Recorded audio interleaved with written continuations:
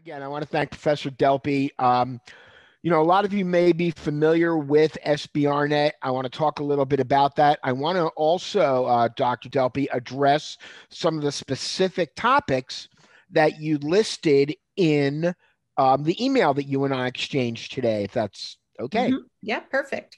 You know, I know that a number of you are working on uh, year-end projects, and I know that a number of you, uh, you know, were probably were using data um, as part of that project. I know that a group of you or some some number of you are working on a project with insoles. It just so happens that my partner Mark Sullivan is the nation's number one expert when it comes to insoles. So if you're the on the insole team, we got the right guy here for you.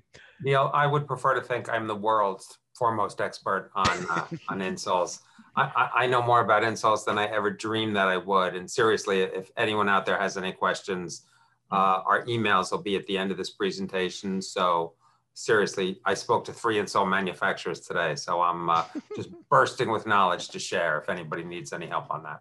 Uh, you know, uh, Neil and Mark, I was not sure if you were joking or if you were serious when you said you were the world's insole expert. Well, just, I'll, I'll, explain how I, I, I came to that uh, knowledge. Uh, in my previous life, I founded uh, a major trade show called the Running Event and at the running event, we probably had every insole manufacturer in the world uh, participate in that event. So I got to know them and learn. I've been to factories where they make them. I've been to retailers. I've interviewed them. I'm up on all the latest scanning technology. So no, uh, sadly or not sadly, I was not joking. So the insole group, you can do an impromptu primary research right here. if you have any questions about how the best way to uh, sell insoles. So what the students did was they, uh, well, Evan, do you want to explain what your group did? Yeah, sure. I can um, I can take just a little uh, little intro. So um, basically, we our our research question at least was um, kind of kind of how to make this sports startup insole um, kind of kind of grow and kind of turn into more of a kind of a sports trend. So building popularity. Um, so basically, we researched some some other similar startups uh, that kind of burst onto the sports industry, such as Under Armour and uh, and Stance socks. So we used some of the data from that, um, kind of studied some of their tactics, and we kind of posed our research question and some of our data based on you know some of the tactics that they used um, and kind of tried to modernize it a little bit to fit today's industry with social media. Um, so we took our best shot at that. well, I'd love love to see it. And Stance is a great comparison because when you think about Stance, you know, we talk about commodity categories all the time. Socks are one, hosiery, insoles are another. But I think what Stance did is they really took sort of a branded, uh, creative approach to the sock category, and they are just crushing it look, it doesn't hurt that they have $70 million in uh, VC money behind them. But, you know, I think their approach was genius and they continue to uh, sort of outperform my expectations. And it would be interesting if somebody took that same approach with, uh, with insoles. People seem to be moving in another direction. And I don't want to steal any of Neil's thunder, but seriously, if you guys want to take the conversation on insoles offline, I'm, I'm happy to have it. Great. That would be awesome. Thank you. Appreciate it. You know, Evan, the interesting thing is if you do a little work even on Google search trends, um, and you find out right now what are the dominant search trends that people are looking for, you know, not just when it comes, you know, not insoles specifically, but if, you know, you look at what people are looking for in terms of shoes, in terms of, you know, what they're wearing, in terms of what they're putting on their feet, the number one term that comes up in more searches than not will be the word comfort everybody's looking for comfort. And, you know, the reality is as, as we get older, Mark and I are a little older, um, you know, we seek comfort in our feet. Um, you know, plantar fasciitis becomes an issue. Um, some of us have probably put on a little bit too much weight, and that's not helping um, our foot pain or our knee pain issue. Um, vert- you know, back alignment you know there are so many variables that really go into that particular subject. I am even not the expert. Mark knows a whole lot more about this than i do. But i also know some of you are working on sports gambling. And uh, that's something that Um, just to give you a quick overview about um, SBRnet, uh, Mark and I actually bought SBRnet in January of this year. We've been running it since last August in the middle of the pandemic. SBRnet is an aggregator of data, and we currently get data um, in three separate kind of buckets. One is that there's an awful lot of free data out there. And, you know, as you know firsthand, you know, all you got to do is a Google search to find out, you know, what's out there. There are sources like Statista. There's uh, the, you know, U.S. Department of Commerce. There, there are so many sources of data out there that you could, it, sometimes you don't even know where to start. And I run into that also, by the way. Where do I start? And we're going to talk a little bit about that. Where do I start moment? because that's super important. The second thing is that we buy data and we purchase a number a lot of data from places like and dr delpy knows from the sfia the sports and fitness industry association there are a number of industry associations out there that provide data related to their specific business hey we're in the sports business so you know why not get data from the sports and fitness industry association? We use their participation data. We also get sales data from a number of other sources, but we also make our own data. We are a primary research, a primary creator of research, and we just did a fantastic piece of research, if I do say so ourselves, um, during the pandemic, because we wanted to understand the changing nature of the sports fan during the great pandemic of 2020. And what happens when you take out one of the single most important variables from being a sports fan? Anybody want to kind of chime in on that? Anyone? Can't go to a game. Guess what? Can't go. No games you know stadiums not open for people or a limited number of people. So when you take the fact that people cannot go to games away you're taking a big part of sports fandom away. But how do we make up for that? How do we how do us sports fans and i am one and i'm sure most of you are too how do you make up um you know for that you know for the jones for the miss that you have in not being able to attend live sporting events. Um, we conducted a primary survey in Q4 of 2020 covering a number of key elements. Dr. Delpy, is there any way to share um, a screen or are we pretty much limited to this? No, no, you can. Uh, there's a big green button. Uh, wait, I may need to make you. You should be able to have it. Do you see the green? I see. Oh no, no, I use I use Zoom all the time. Yeah, so the green arrow there, you should okay. click and then just share. Okay. Let me know, everybody, when we're seeing our screen. When yep, you're seeing my good. screen. Okay. So, what we did was we wanted to explore the elements of fandom or the elements that make up fandom when you can't go to games. So, we looked at things like esports, we looked at social media engagement, we looked at streaming media, we looked at fantasy. But one of the big things we looked at was gambling on sports. Because everybody that we speak to, and I even sat in on a webinar today from Sportico, and you know, right now everybody's looking at sports gambling as an opportunity to make up a lot of the revenue that is, you know, that is lost by not having fans at games. Now, aren't a number of you working on a project right now related to sports gambling? Yes, Stephanie, you want to share what your project is? Yeah, sure. Um, so basically, we looked at, um, you know, what motivators sports bettors have and their preferences for online or in-person betting, and mm-hmm. ultimately, mm-hmm. um, like we were trying to answer, like if a venue or a restaurant applies for a DC license, which will be handed out in limited ability, um, is the price of investment worth it um, in terms of like, will these bettors actually come to your bar just because they can place a wager? Right. That's an interesting, I think, an interesting way to approach, you know, this particular topic or, or approach this particular situation. What we did in our study, and I'm going to try to skip ahead a little bit. I've got like too many screens going at once here. Not my, uh, okay. I want to move, I'm going to move right to the sports gambling part of this. But what we found when we looked at sports gambling, hang on, was that different sports fans have different tendencies in terms of the way they are planning on consuming gambling. We're finding out that people that play fantasy sports make for a much better target when it comes to sports gambling and for a variety of reasons. We're finding also, you know, which sports are people gambling on you know, beyond the NFL, everybody knows, hey, look, people are gambling on football. But guess what?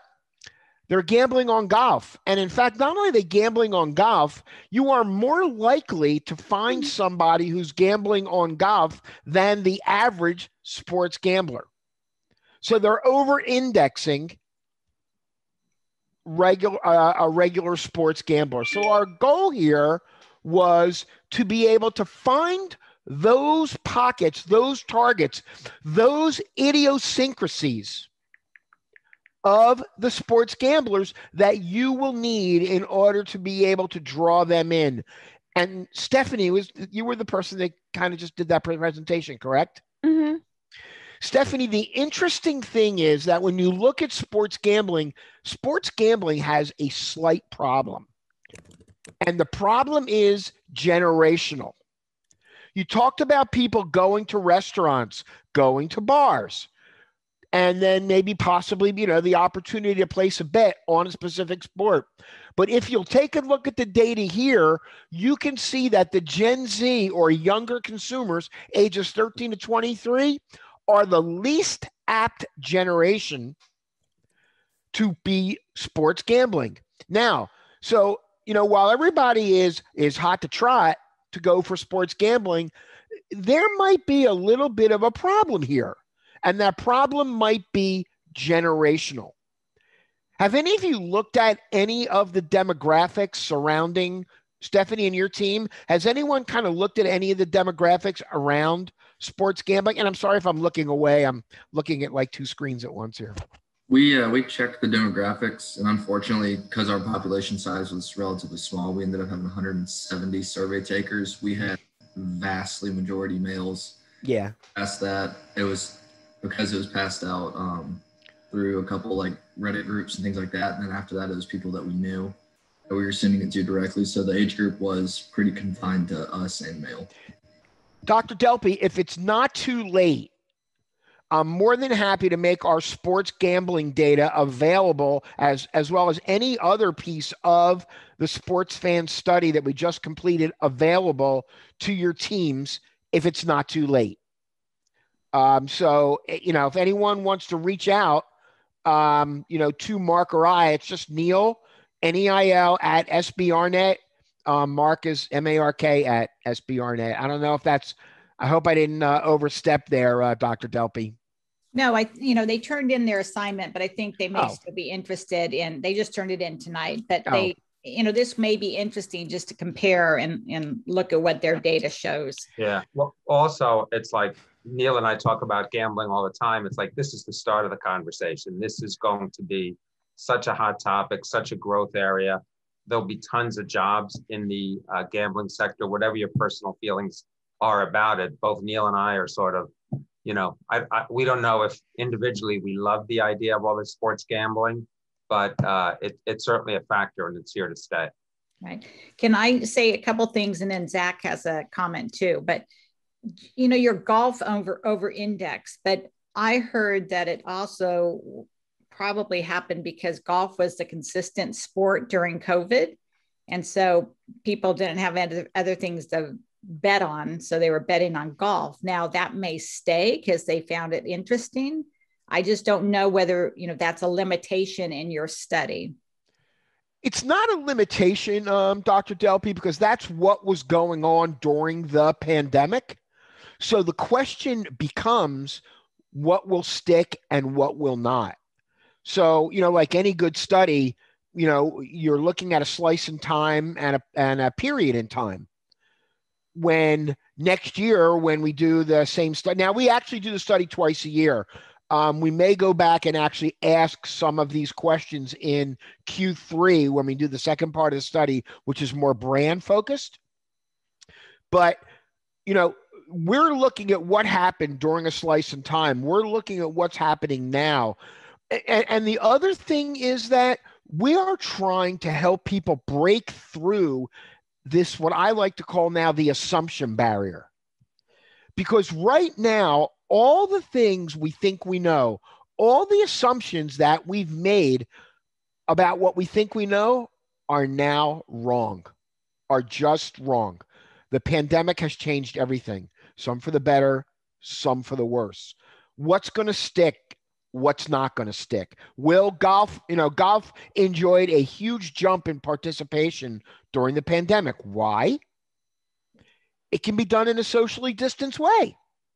Walking, huge jump in participation during the pandemic. Why?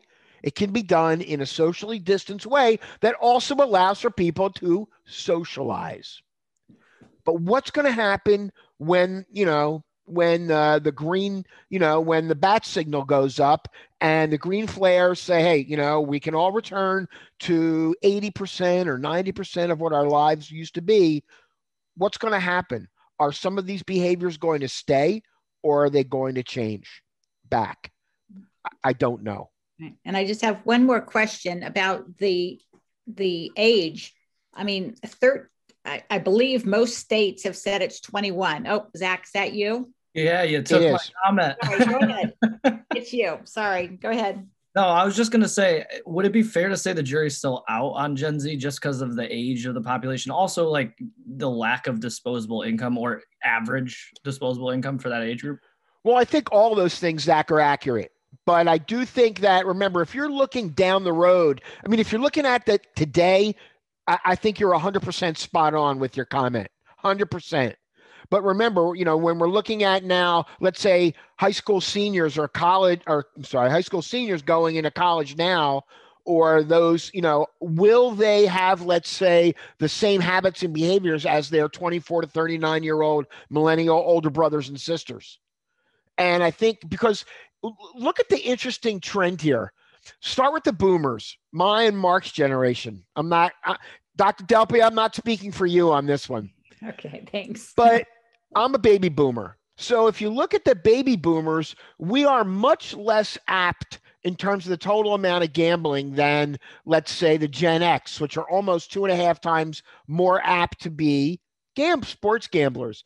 But then if you look even against the millennials, it takes another jump in a positive direction, but it goes down, you know, with the Gen Z. So you know, Zach, remember, you're not just building a business for today, you're building it for tomorrow.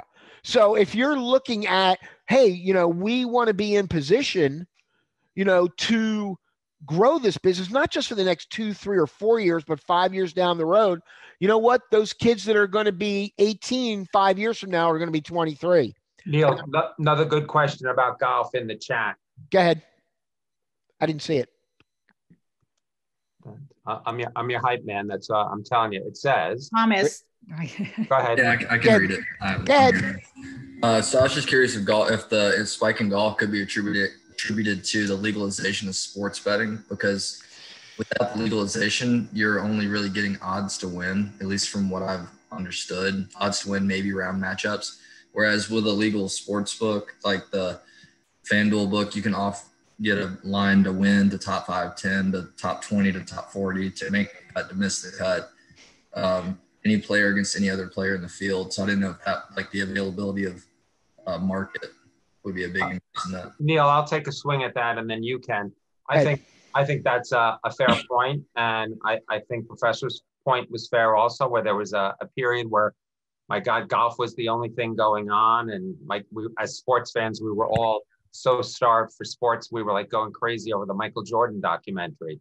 So I, I think that's uh, a big part of it.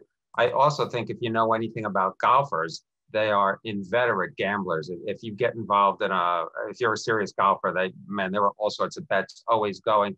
I've been sitting in golf clubhouses where guys were betting serious money on the next person who walks through the door. What color shirt will they have on? Golfers will bet on anything. And Neil, jump in here didn't didn't the survey also show that golfers were more likely to bet on other sports? You know, they I think they over indexed big time in that regard as well. In fact, Zach, if you're targeting, you know, you're looking to target growth or you're looking to target opportunities, you know, the data that we have, um, you know, says exactly what Mark just mentioned is that golfers are more apt to actually, in an indexing situation, to be a better target than, let's say, people that bet on the NBA or bet on some of the other sports because they are more likely to be gamblers. So, you know, it allows you as somebody who's trying to target a specific audience to be able to target an audience that is more predisposed to that particular activity. And I think a couple other factors work there too. Probably age. Golfer golfers tends to skew a little older, tends to skew a little more affluent, and and those people, uh, as as Neil's data shows here, those people are more likely to bet than uh, than other people. Dr. Delpy also told me that there are some groups working on some social media things. Does Somebody want to kind of get me up to speed on that? Yes, no, maybe. Did I get that right? Sydney? Sydney Man? Yes, yes our group is doing um, research on the impact of Twitch and TikTok with Generation Z on social media. You know, that's a really that is a really an amazingly an interesting area of our site because we do social media in general. Social media, um, oh God, I'm missing the word here. Getting old sometimes stinks. You know, social media interaction and social media usage by different sports fans you know, as you can see, is is really all over the place. You know, where we're seeing, you know, we saw Facebook on a two-year decline. We saw Twitter actually on a two-year decline. We saw Snapchat, you know, kind of flatten out over two years. But in 2020, you know, we've just seen social media usage of for sports fans across almost every major sport just explode, with the exception of YouTube. But what it appears that what YouTube has lost, TikTok has picked up. Now we did not measure fan, we did not um, measure fans of um, Sydney. What was that other service you just mentioned? Twitch. Also, Twitch. We didn't Twitch. Twitch. Twitch, right? We didn't. Twitch was not included as part of um, the base study. But the interesting thing is the folks that moved out out of YouTube, it appears have moved to TikTok. Shorter format, uh, more youth oriented, uh, action oriented. I mean, there's just a number of things that I think go into that particular situation. But we really do see, you know, some changes going on as a result of the pandemic. I'm just curious, students, would you agree? Like, have you lessened your amount of time on YouTube to go other places? Well, I was just going to ask you really think it's the same audience that's moving from YouTube to TikTok with such dramatically different formats? You know what I haven't what we haven't done is to analyze whether it's incremental audience gain or moving but you know look i've been i've been working with data a long time and when i see certain patterns emerge and you see you know a, a particular service grow at a similar rate or a similar value to what another service lost well my first thought always you know i i always go the zero sum game. As someone grows someone goes. So as new social media platforms you know come online they become more relevant they become targeted towards different um, demographic groups you know we will see um, you know some i think some shifting going on. I mean you know what was interesting to me frankly was the decline in both instagram and twitter um, among sports fans in general across the major sports of course, that number then popped up again in 2020 as a result of the pandemic. But again, being able to take this data apart a little bit more, I think it would be a wonderful exercise. Students, what did your re- results say? Where were people going for social media? Sydney, what was your results? Um, we found that more people were like using TikTok when we were first like looking at it more TikTok. Twitch is not as popular for sports yet, but the presence on TikTok is more than Twitch. What did but you hear over, about? I'm sorry, good. I'm sorry. No, overall, though, like you asked them which platforms they used. They used um, when we, overall we've seen people using um, YouTube, um, Instagram, TikTok, but when we were first doing when we were first doing research, it was more heavily on um, Instagram and TikTok. But I think also because when you like you said earlier, the pandemic, there was there was more usage of TikTok and stuff. Sydney, I want you to focus on two. uh, Are you? Can you see the, the chart that's up on the screen right now? Yes. So uh, I just want to pull two of these charts out here and talk about it for a minute. Look at the Twitter chart. So we look at 18, 19, and 20. What do we see? Well, Twitter, for the most part, has usage in 18, 19 stayed flat. You know, lost a little bit, um, but pretty much stayed flat. But look what happened with Instagram, where we see Instagram almost across the board in from 18 to 19 dropping down Instagram usage, and then all of a sudden, of course, bouncing back up again in 2020. But then we also saw the emergence of TikTok. Sydney, what do you think that that tells you? Just and, and, look, obviously, I know you haven't had a chance to analyze the data per se, but what does it tell you in terms of the way that sports fans are consuming social media or use, utilizing it? I think sports fans are more are using utilizing um, social media more just to, especially like when it comes to highlights, if they missed a game or to engage with their uh, favorite players or just to keep up to date with their favorite players' life. And I feel like because we were in a pandemic, the, the numbers are higher in 2020 because we're, we're, we have more time to focus on what they're doing versus when you just catch it spur in the moment. You know, the interesting thing about the growth in TikTok is, of course, we all know what the origin of the word fan is, and it's fanatic. And if you look at, you know, a lot of the videos and a lot of things on TikTok, it allows people to really kind of act out their, you know, their, let's say, you know, take that whole, thank you. so, you know, there's some interesting, I think, again, this is top line. If you dig into this further, I think you'll find that there's a lot of not attrition as much as there is cannibalization and movement to, from pl- platform to platform. You know, I'm curious. So, your numbers between um, Instagram and TikTok are identical for every year on the breakdown. Mm-hmm. So,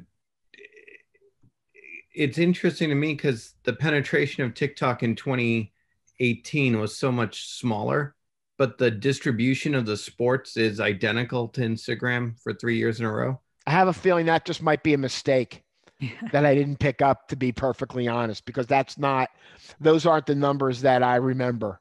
So somebody might have copied and pasted something wrong, and it might have been me. no, but that, that's that's a good question because TikTok as a platform has exploded. So I, I, would expect that uh, I would expect the numbers at some point are reflective of that. If you want, though, um, I'm happy to send you the actual summary report that this was derived from, and and there the numbers are right. It looks like I, yeah, that'd be great. Would that be great to share? Would that be happy? Absolutely, and absolutely, and uh, you know, I hope you know. Look, if you want to learn a little bit more about what we do, you know, I hope you'll follow us um, on whatever social media platform you like to use, whether it's LinkedIn, Instagram, uh, we're even a bunch of old guys on Facebook, or of course uh, Twitter. So, um, are there any other questions or? Dr. What are you guys? What are you doing in esports? Wow, what we've done is we've actually done. Um, esports has really been one of the areas that we have, um, you know, done a lot of focus with. Uh, let me let me. Well, here we go. So, um, you know, what we're seeing is that a lot of sports fans, especially younger sports fans, have turned their attention um, away from traditional sports and to esports. And um, we surveyed people that play what we call first person shooter games, Call of Duty, Fortnite, Halo, Overwatch, those games. We looked at um, those played at more of the fighting games. And then we looked at people who play sports games. So, what we were able to do is to again break down um, people that are playing, um, you know, what effect esports is having um, you know, in terms of you know how much it's having on traditional sports and then of course general participation in esports. We're seeing esports participation. If you look at the chart on the right, is up um, pretty substantially across all um, you know all major groups of sports fans. Yeah. So I think that you know I think that's also going to prove a challenge. Quite frankly, I mean we we had a discussion. I had a discussion with a, a, a company that's looking to do um, that's looking to create an app that allows um, you know esports activities to happen during an actual game and allows to put you into the game. You know they're calling this the gamification of sports. I don't think it's probably an expression, Dr. Delpy. I'm sure it's something that's come up in other presentations, but um, you know, more and more sports fans are showing their, um, you know, their engagement with esports, and frankly, I think it is something that traditional sports really needs to keep an eye on. And could you just go to that methodology slide? Sure.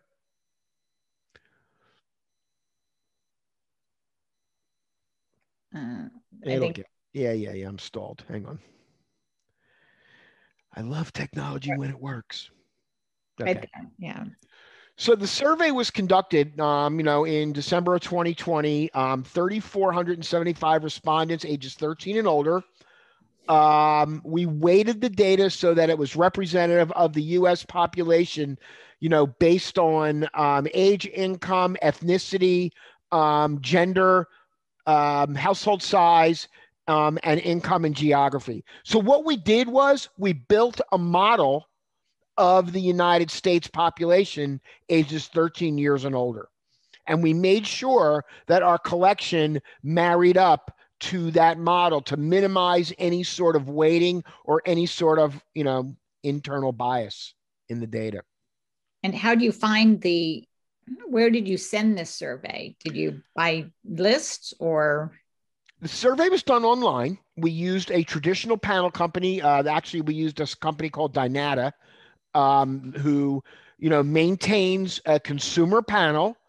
Um, you know, it's an opt-in. It's an opt-in situation. It's not as though they're just sending out you know blind invitations to participate in um, the survey, but they do have um, a fairly rigorous um, program to, to ensure that these are not like professional survey takers to ensure that these are people that are genuinely interested in the ca- in the topics are genuinely interested in um, taking the survey and again not just you know professional survey takers. And on average, how much does somebody, like if you're on a panel, how much does somebody make for that? well it depends. Uh, dr delpy um, these people are actually not paid to be as part of the panel. They are awarded points. And then the points equal um, you know either money in some cases or um, they will receive an amazon gift card. So you know it's not a we are not paying people directly. And in fact i have no interaction with anyone um, because of privacy laws. So i have no idea you know i wouldn't know if you know evan took the survey or thomas took the survey frankly um, everything's anonymous um, we are very careful to maintain strict uh, you know strict confidentiality um, and don't want to violate any of the new uh, you know confidentiality and privacy laws Okay. And I, I'm just asking this to bring home the point to, to what we've learned in class. This is kind of a summary of everything. Um, how long was the survey? Because you know we struggled with making sure the students kept their survey to a certain length.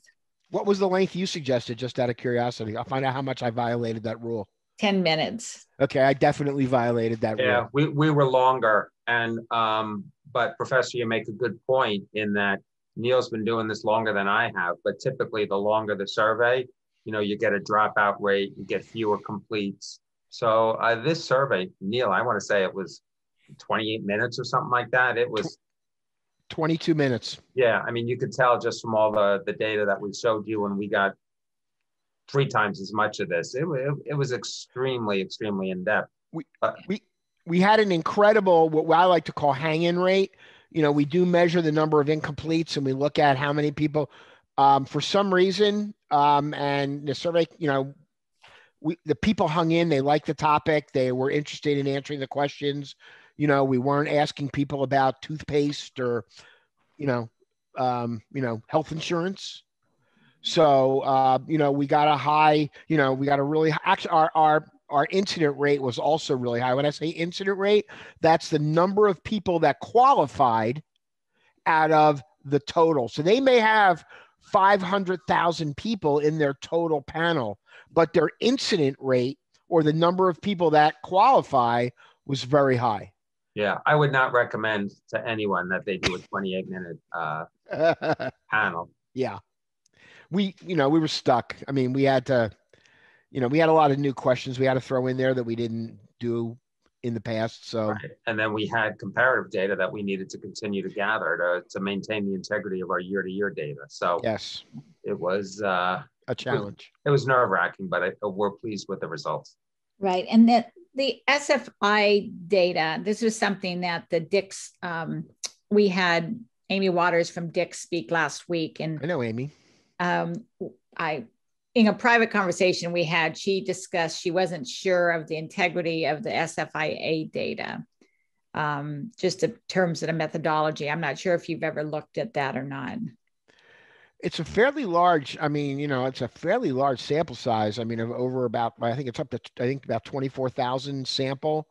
Um, you know, what's interesting is that Dick's used that data for a number of years to help with site selection um, in fact, I actually developed a site selection methodology for them to use participation data as part of that site selection algorithm. But um, that's interesting that Amy. Well, I um, think it was more on, I think the way the question reads is Did you play basketball in the last 12 months? Well, okay. So if you picked up a basketball and shot one shot. No. You see, that's, see, Amy I know Amy well. We ask people if they just picked up a basketball and took a shot, that would be called casual participation. I took a shot. I played one time with my grandchildren, um, you know, or I went out with my buddies one time. But if you played basketball 24 or more times a year, would you consider yourself a basketball player? Anybody? Yes. I would. Yeah. Well, also, uh, uh, again, my background, a lot of it is in the uh, running space, and I've looked at a ton of running data over the years.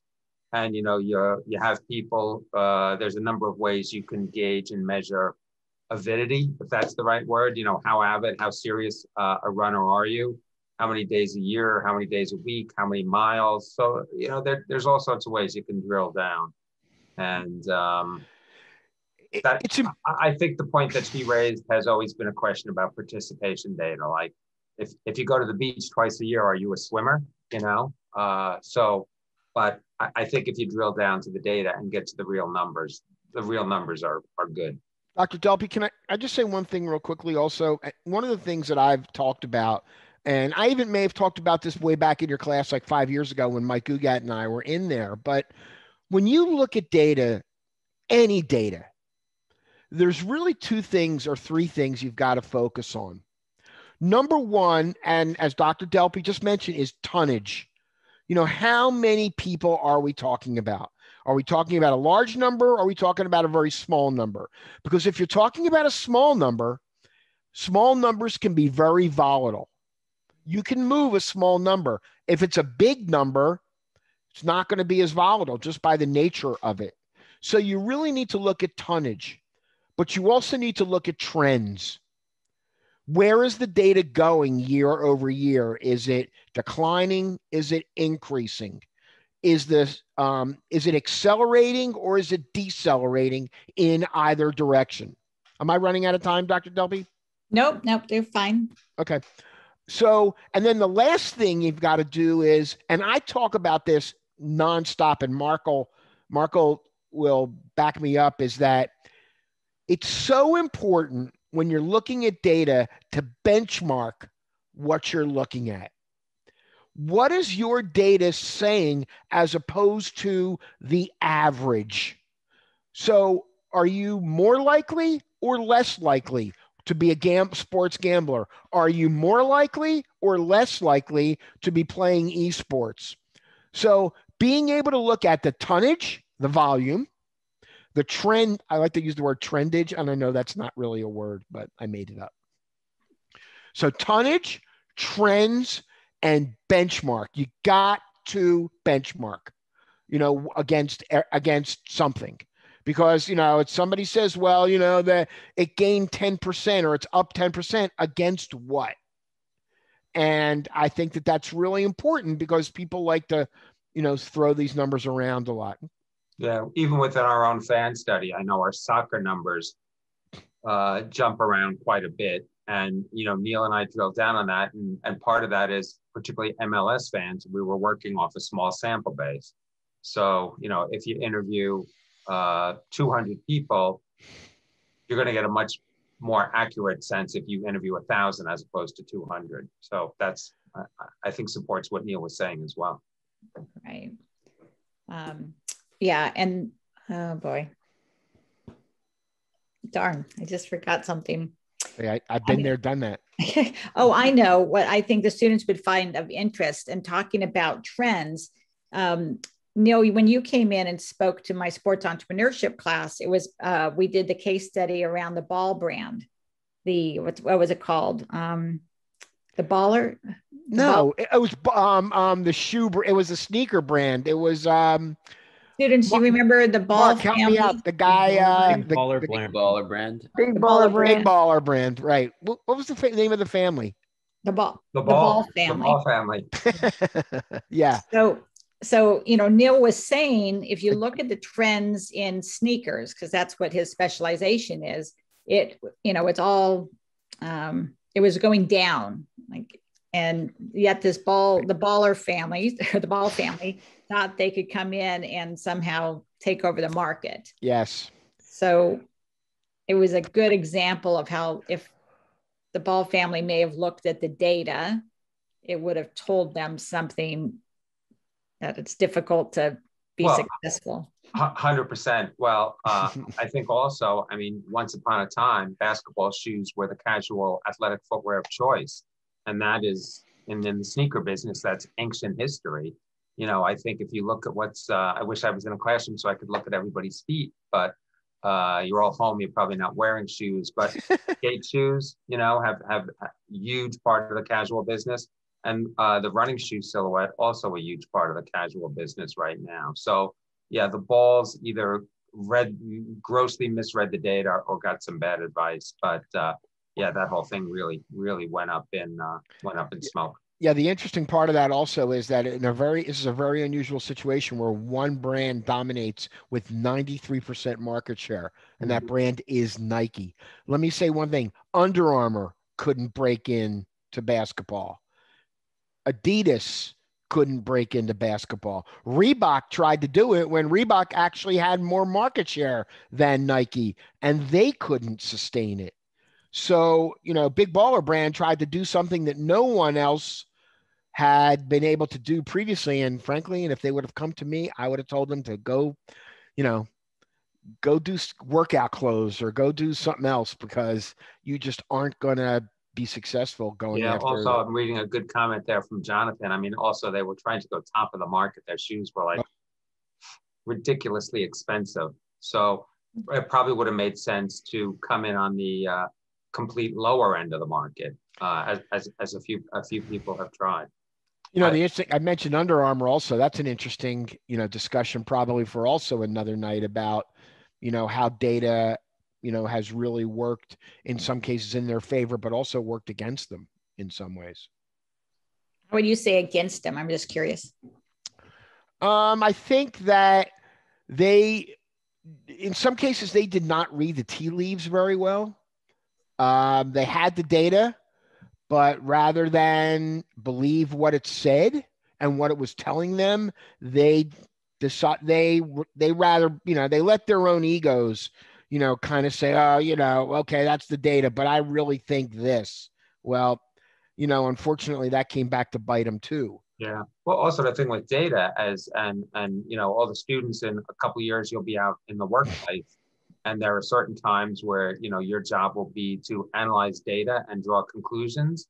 And then other times your boss will come to you and say, this is what I want to do, find some data that supports it. So, you know, data data can be selectively used and manip- manipulated in a, a number of ways.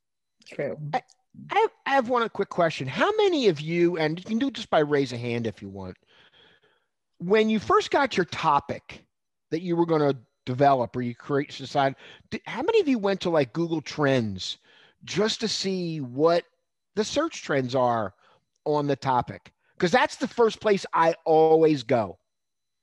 Always. So, you know, again, that's an easy, you know, easy step for people when you're and you know, when you're given a topic, you're working on a topic, you know, go right to Google search trends. Yeah, that's a good idea. Um, I think we, I'm not sure if, I don't think we mentioned that. So, but we we did have it. I think in one of our early lectures, we did uh, speak to some of it as an option. I think, but we didn't really go in depth. Um, I love your background, by the way. oh, good. Well, um, you know, thank you so much for jumping in and giving this, uh, you know, thank you very much. Sites here, Yeah, and happy to do it. Yes, appreciate it. And, and all, all you insole guys,